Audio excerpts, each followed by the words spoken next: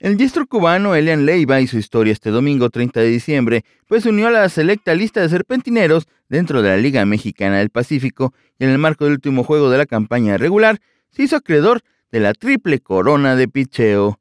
Leiva conquistó el mayor número de triunfos en la Liga Mexicana del Pacífico con seis victorias, compartiendo esta categoría con otros cuatro lanzadores. En los ponches sumó un total de 67 chocolates en la categoría que arrasó y fue líder en solitario es el porcentaje de carreras limpias, mismo que dejó en 2.02. Tras el juego, el caribeño se dijo contento por su trabajo con el equipo y afirmó que Charros de Jalisco dará la pelea en esta postemporada.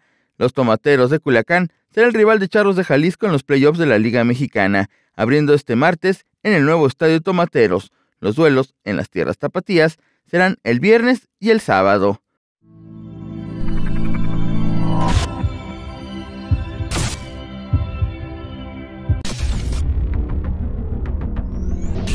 Primero estoy contento por, por, por, cosas positivas para los charros, creo que eso es lo primero. El equipo es lo más grande, es más grande que cualquiera de nosotros y creo que, estoy muy contento por, poder aportar bueno, cosas buenas para el equipo. Para Noticiel.mx, Sergio Enrique Hernández.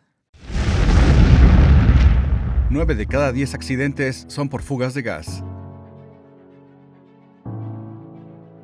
Bitwo Electronics es un detector de fugas de gas. Protege a tu familia por tan solo 699.